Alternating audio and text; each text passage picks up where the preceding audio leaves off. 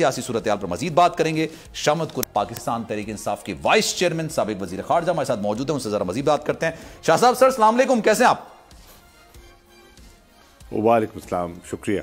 Sir कल का जलसा तो बड़ा शानदार रहा और अपनी नौयत का मुनफरद जलसा भी आप इसको इस तरह से कह सकते हैं कि रुकावटें काफ़ी रुकावटें काफ़ी ज़्यादा लगाई गई।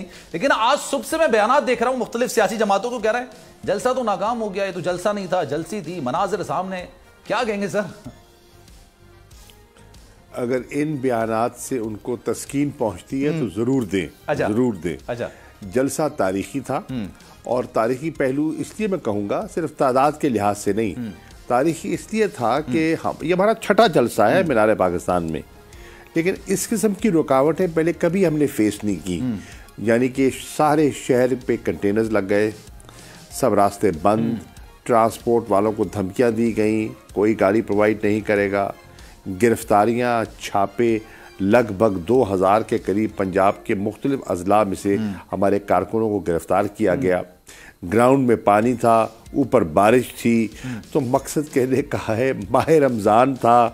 जी ये सारे फैक्टर्स को जब आप अकाउंट फॉर करते हैं तो मैं ये कहता हूँ कि मीनार पाकिस्तान का तारीखी जलसा था। बिल्कुल। और इसका कोई इसकी कोई इसका कोई सानी नहीं कंपैरिजन ही नहीं है लेकिन सर उस उसके अंदर एन को बिल्कुल। जलसा दिखाई नहीं देता हम्म। तो कोई बात नहीं अल्हम्दुलिल्लाह। चले कोई बात नहीं आगे बढ़ते हैं सर। खान साहब ने इसी में कहा कि मुझ पर कांटा लगा दिया गया है और फिर उन्होंने ये सवाल भी किया कि चलें खान साहब को आपने इकतदार से दूर रखना है इलेक्शंस होंगे नहीं होंगे एक तो खैर ये अलग बहस इस पर भी बात करेंगे लेकिन खान साहब को आपने इलेक्शन से दूर रखना है या इकतदार से दूर रखना है तो फिर आपके पास चॉइसेस क्या क्या है? आपके पास प्लान क्या क्या है? सर व्हाट यू थिंक आपको क्या लग रहा है? बाकी में खान साहब को इलेक्शन से दूर रखने की कोशिश की जा रही इकतदार से? और उमूमी तौर पर यह कहा जाता है कि किसी के लिए अगर कांटा लगा दिया ना तो फिर वो इतनी आसानी से कांटा निकलता नहीं है। बजा तौर पे आपने कहा कि कोशिश है कि खान साहब को सियासी मंजरनामे से हटाया जाए। हम्म, हम्म। ये कोशिश है। हम्म। ज़रूरी नहीं कामयाब हो। अब कहते हैं कि उनके नाम के गिर्द नाम के नीचे एक लाल लकीर खिंच गई। यानी कि इनका तो कोई मुस्तकबिल नहीं है। लेकिन खान ने बड़ी खूबसूरत बात की। उन्होंने कहा कि इन मैं इस लाल लकीर को मिटा के दिखाऊँगा। और मुझे दिखाई दे रहा है जो उनका जो अज़म है जो परसिवेरेंस है और जिस तरह लोगों की पजीराई मिल रही है जो उनकी आज मकबूलियत की सतह है इन ये रेड लाइन मिट जाएगी। और बिल्कुल ये बात बिल्कुल दुरुस्त है। आवाम की ताकत से किसी को भी आना चाहिए और इसके अलावा कोई दूसरा तरीका होना नहीं चाहिए। मरियम नवाज़ साहबा की आज आपने गुफ्तु सुनी होगी। उन्होंने कुछ अलग बात की। उन्होंने कहा कि अब इनको माजी का उन्होंने कहा कि जनाब माजी के आपने कोई ना कोई इस्तेमाल तो कर लिया था। अब आप अदलिया को इस्तेमाल करके आप चाह रहे हैं कि आप आगे आ जाएँ। क्या आप काउंटर किस तरह से करेंगे इस पर मैं समझता हूँ कि ये लफ्जी इस्तेमाल करना और ये कहना ये जुमला ही काबिल एतराज़ है हम्म। कि अदलिया को इस्तेमाल करना हम्म। ये कंटेम्प्ट है कोर्ट हम्म। मैं समझता हूँ कि काबिल गौर है ये बात कि किस लबो लहजा से आप बात कर रही है कोर्ट्स तो आज़ाद हैं आपके हक में फ़ैसला कर दे अच्छी हैं आपकी तो के बरक्स फैसला करे तो आपको पसंद नहीं आता। हम्म। लेकिन कोर्ट्स हमारी आज़ाद हैं हम्म। और खुदा करे आज़ाद रहें। हम्म। के लिए एक इंडिपेंडेंट मीडिया और एक इंडिपेंडेंट जुडिशरी ये दो ऐसे जुज हैं जिसके बगैर जमहूरियत पनप नहीं सकती। बिल्कुल। अच्छा सर तीस अक्टूबर को इंतबात होंगे पंजाब और केपी में। या खैर केपी का तो नहीं था मामला लेकिन पंजाब में इंतबात होंगे तीस अक्टूबर तीस को। तीस अप्रैल को या फिर ये आठ अक्टूबर तक मामला चला जाएगा आपने पिटीशन तो दायर कर दी है लेकिन वॉट यू थिंक एक सियासी कारकुन की ऐसे से वॉट यू थिंक क्या होने जा रहा है एक वसी तजुर्बा है आपका सियासत में सर मेरी मेरी नज़र में अगर आपने इस मुल्क में आइन को तस्लीम करना है हम्म। और आइन को आप रिकग्नाइज करते हैं और आइन की हुक्मरानी को तस्लीम करते हैं हम्म। तो फिर 30 अप्रैल के आगे आप नहीं जा सकते हम्म। अगर आप जाएँगे तो आप आइन की खिलाफ वर्जी करेंगे। अगर आप जाएँगे तो आप सुप्रीम कोर्ट के फैसले के खिलाफ कंटेम्प्ट करेंगे और अगर आप जाएँगे तो मुल्क को मज़ीद एक आइनी बहरान से दो चार करेंगे मेरी राय में कोशिश इनकी है ये तो नहीं चाहते इंतबात नहीं चाहते। क्यों नहीं चाहते? अब हर आदमी जानता है उनकी कारकर्दगी इतनी मायूस कन है। लोग आज उनसे इतने बददिल मुतनफ़र हो गए हैं कि वो समझते हैं कि अब वहाँ जो अरसा दराज से पी एम एल एन से मुंसलिक थे आज वो भी पीछे हट रहे हैं। और आपने देखा बहुत से लोगों को कल मीडिया ने इंटरव्यू किया और लाहौर के लोग थे। देखिए कल के जलसे की खासियत ये भी थी कि सारे रास्ते बंद किए गए थे कंटेनर्स लगाए गए थे ग्राउंड में पानी था कुछ छोड़ा गया कुछ बारिश ने आए और फिर गिरफ्तारियाँ थी और उसके बाद माह रमज़ान और फिर ये जलसा होना। और बहुत बड़ा एक एक तब्दीली का निशान है कि तहरीक इंसाफ का वोटर मेच्योर हो गया। और फिर आपने देखा कि जहाँ रास्ता बंद हुआ उन्होंने गाड़ी खड़ी की उतरे और पैदल चल दिए। किसी के हाथ में आपने वहाँ असला देखा? किसी के हाथ पे आपने डंडा देखा? कोई आपने कोई तोड़ फोड़ कोई नुक्स अमन देखा? नहीं। क्यों नहीं? क्योंकि हमारे ये पॉलिसी नहीं है। ये जो जमान पाक का हवाला देते हैं ना ये हमारा किया धरा नहीं है। ये तो पुलिस का रवैया था। और जब वो लोगों के दम घुटने लगे वो मरते थे इस किस्म की जहरीली गैस पर फेंकी गई खातनों खातन पर बच्चों पर तो मरता क्या ना करता। उन्होंने हाथ पाँव मारे। लेकिन पीटीआई की रैलीज जहाँ मस्तूरात हों जहाँ बच्चे हों जहाँ बूढ़े हों हर मकतब फ़िक्र और हर उम्र का वहाँ वहाँ कोई ना कोई शख्स और ख़ातून मौजूद हो वहाँ लड़ाई करके हमने लेकिन सर क्या वो आपकी बात बिल्कुल बात दुरुस्त हो गई। सर मैं बेसिकली आपसे सवाल एक और ये भी करना चाहूँगा तो उनका एक लॉजिक है और वो लॉजिक ये है कि जनाब आप लोगों ने पहले असेंबली तोड़ दी। ठीक है आपने इलेक्शंस कराने के लिए तोड़ी आपने प्रेशर बिल्डअप करने के लिए तोड़ी।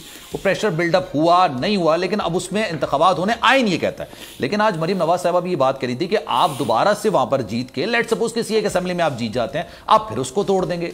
तो इस्तेकाम तो आ नहीं पाएगा ना। ये लॉजिक आपको नहीं लगता कि क्यों तोड़ेंगे? हम्म। क्यों तोड़ेंगे पहले भी तो तोड़ी ना सर देखिए देखिए मरीम साहिबा देख मैं करूँ फ़र्क है। पहले हमने तोड़ी बिकॉज़ हम जनरल इलेक्शन के ख्वाहिशमंद थे। हमसे कहा गया था और हमने आइन का मुताला किया था कि अगर ये दो असम्बलियाँ तहलील कर दी जाएँ। तो आइन की रूह के मुताबिक नबे दिन के अंदर इंतबात कराने लाजिम। हैं नंबर एक हमारी ख्वाहिश थी जब दो साठ फ़ीसद, चौंसठ फ़ीसद पाकिस्तान की सीटों पर इंतबात हो रहे हैं या होंगे तो मनतकी सी बात है कि आप जनरल इलेक्शन की तरफ़ चले जाएँगे। हम्म। उसमें वक्त भी बचता है हम्म। उसमें कौमी खजाना भी बचता, भी बचता है, है बिल्कुल ये तो इनकी हट धर्मी थी। हम्म। ये तो इनकी हट धर्मी है ना कि नहीं मान मैं ना मानूं। मैं ना मानूं। अब वो कभी जो उन्होंने रिसोर्सेज का बहाना बनाया जो उन्होंने सिक्योरिटी पर्सनल का बहाना बनाया मेरे ख्याल में सुप्रीम कोर्ट उनको वक़्त नहीं देगा। अगर सिक्योरिटी पर्सनल का इशू है तो इनको फ़ेज़ आउट किया जा सकता था। या अगर सुप्रीम कोर्ट को वाकई कोई दिक्कत आ रही थी तो मेरा सवाल यह है कि उन्होंने आर्टिकल 220 इन्वोक क्यों नहीं किया? इनके पास ये हथियार मौजूद था। सही है। आर्टिकल 220 को इन्वोक किया जा सकता था।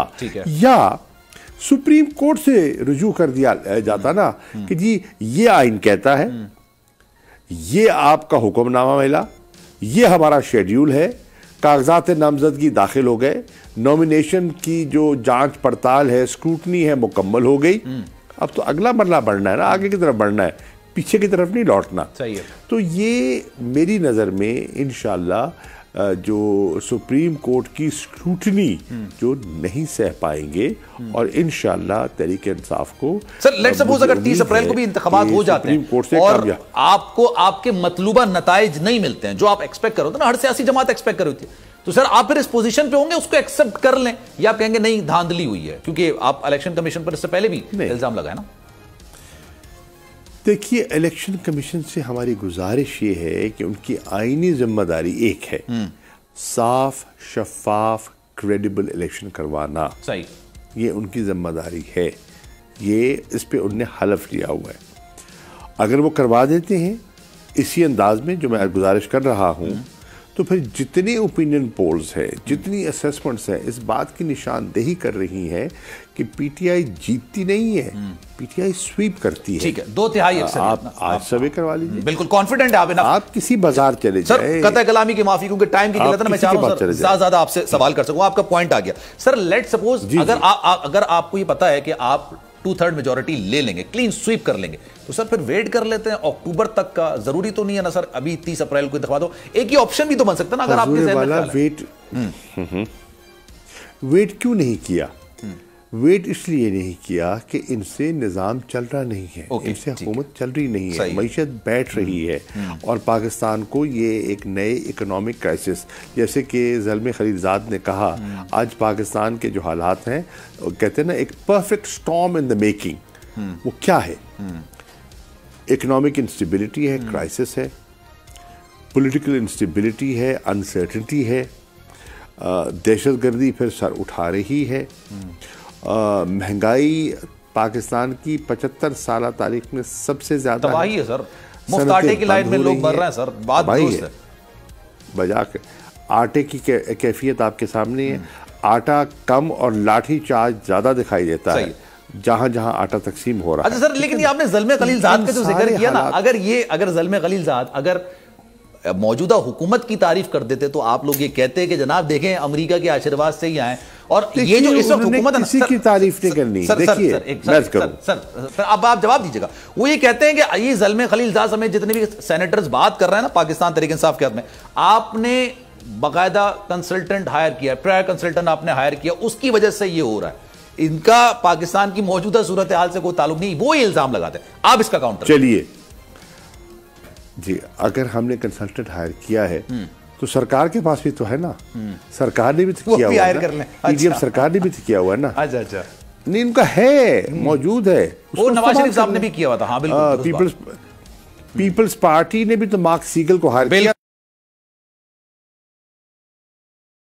देखिए हमने कोशिश की है ये कहते हैं ना नकल के लिए भी अकल चाहिए। हर चीज़ की नकल करते हैं। जलसे का स्टाइल हम्म। जिस तरह हमने क्लिप्स चलाए हम्म। जिस तरह हमने स्टाइल किया हम्म। जिस किस्म के हमारे तराने होते हैं। अब ये नकल करने की कोशिश करते हैं नॉट रियलाइजिंग कि नकल के लिए भी अकल चाहिए exactly. में सर ये लेवल प्लेइंग फ़ील्ड कैसे होगा सर मतलब नवाज़ शरीफ साहब को वापस आना चाहिए एज अ सियासी वर्कर आप क्या समझते हैं? नवाज़ शरीफ साहब को वापस आना चाहिए? या खान साहब को नाहल होके फिर लेवल प्ले फ़ील्ड होगा? क्या होगा? नहीं नहीं नहीं नहीं नहीं नहीं नहीं नहीं नहीं। नवाज़ शरीफ साहब को रोका किसने है भैया? सर ये मैं आप कह रहे हैं आना चाहिए। नहीं भैया ये पूछिए ना मरियम बीबी से किसने रोका हुआ है? हम्म।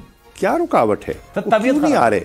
अब तो माशाल्लाह से तबीयत तो अब संभल गई है ना तबीयत अच्छा। तो अब अच्छी है। अच्छा। अगर बैठ के टिकटों के पार्लिमानी बोर्डों की सदारत कर सकते हैं हम्म। पार्टी की टिकटें बाँध सकते हैं हम्म। ठीक है ना? अहम ओधों की तकर्रियों के फैसले कर सकते हैं। तो वापस नहीं आ सकते। Exactly exactly. ठीक है। अच्छा सर वो जहाँ बैठे हुए ना उसी उसी के नाम लेके एक प्लान का भी ज़िक्र खान साहब ने किया। लंदन प्लान कौन कौन लोग हैं सर? कौन क्या मोहरकात और क्या प्लान था ये? व्हाट यू थिंक देखिए लंदन प्लान का तो एक अमली नमूना आपको दिखाई दिया। हम्म।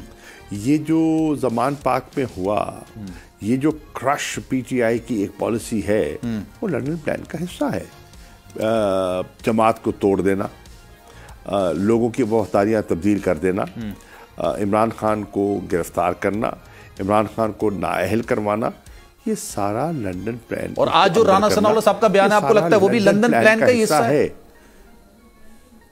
वो क्या बयान है उनका? वो उन्होंने कहा ना कि अब, अब मामला इस नैच पर हो गए कि या तो हम हैं या ये हैं अब कोई इखलाकी गैर इखलाकी नहीं अब कोई आईनी कोई गैर आईनी मामला नहीं है। पीटीआई इस नहज पर सियासत को ले गई कि अब कुछ नहीं कुछ भी हो सकता है। देखिए पहली बात तो ये है ये हम और तुम ने पहले मुल्क को दो लख्त किया था। हम्म। अब फिर भी हम हैं या तुम हो ये मत कहिए। हम्म। सियासत पे हर किसी की गुंजाइश है। हम्म। हम तो हैं। खुदा करे आप भी हो।